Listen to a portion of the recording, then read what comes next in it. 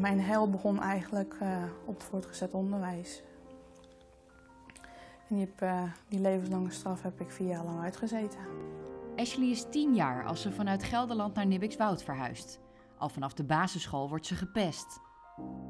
Werd je al raar aangekeken als je een raar accentje had. En eh, als je een beetje dik was, dan werd je ook al gelijk uitgescholden. En als jij dik bent, dan is je hele familie dik. En als, je, als jullie dik zijn, dan deugen jullie eigenlijk allemaal niet.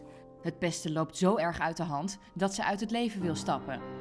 Na haar depressie afgelopen jaar besluit ze er een boek over te schrijven. Het is een biografie geschreven over mezelf. Ik vertel eigenlijk openhartig in mijn boek ehm, wat mij zo allemaal is aangedaan. En zelfs het moment waarop ik uit het leven wilde gaan stappen. Het is anderhalve kilometer van school en omdat wij sportklas deden moesten we er hardlopend heen. De school lag vlakbij het treinstation en toen de slagbomen dichtgingen kon de jongen met het grootste bek het niet laten om een opmerking te maken.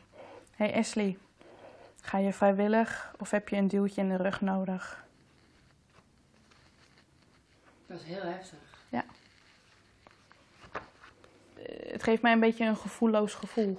Ik weet niet hoe ik me eigenlijk eh, door moet laten voelen nou nog steeds. De helft wist ik niet, maar daar schrik je toch wel van. Dat je dit allemaal leest wat je kind allemaal overkomen. Dat gun ik geen ene ouder.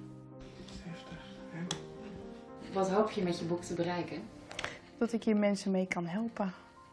Dat, eh, pesten eigenlijk meer, dat er aan pesten meer aandacht besteed wordt. En dat eh, de jongeren van tegenwoordig niet twee keer na gaan denken wat ze gaan pesten.